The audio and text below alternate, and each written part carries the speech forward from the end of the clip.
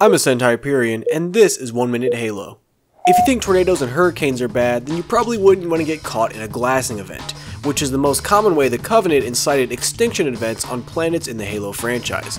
But how does shooting purple goo onto the ground result in a dead planet? Well, it goes something like this. Plasma contained within a magnetic bubble is fired down on a planet. Once the bubble strikes the surface, the magnetic field collapses, resulting in a massive release of energy in the form of heat and radiation.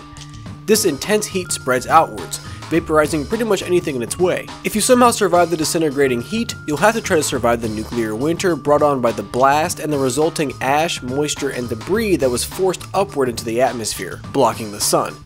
If by this point you're still alive, you'd have to navigate the evaporation of your planet's oceans. The Covenant would use these plasma lances to dry up any significant bodies of water on a world, and if your grade school science class taught you anything, is that not having a water cycle is bad for the environment.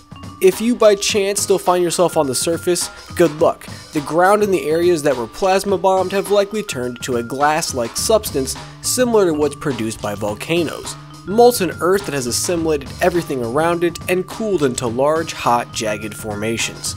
Any glass planet is effectively rendered uninhabitable, devoid of water and life. Subscribe for more 1 Minute Halo and be sure to check us out on TikTok.